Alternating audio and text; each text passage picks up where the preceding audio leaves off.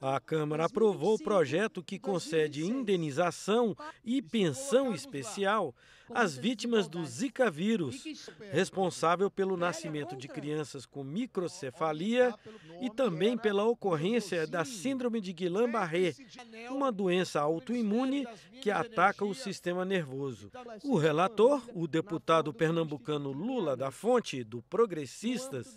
ressaltou o apoio ao projeto por deputados de todos os espectros políticos. Esse projeto não diz respeito a um partido, não diz respeito a uma ideologia de esquerda, direita ou de centro, mas esse projeto diz sim a dignidade das mães que têm filhos acometidos por microcefalia e pela síndrome de Guillain-Barré. Pelo texto que segue agora para o Senado, as pessoas com microcefalia ou com síndrome de Guillain-Barré receberão do governo indenização de 50 mil reais, mais uma pensão vitalícia em valor variável, limitado ao teto do regime geral de previdência social. Um dos autores da proposta, o deputado gaúcho Pompeu de Matos, do PDT, saudou a aprovação do projeto. Hoje eu me sinto feliz porque estou vendo aqui aprovar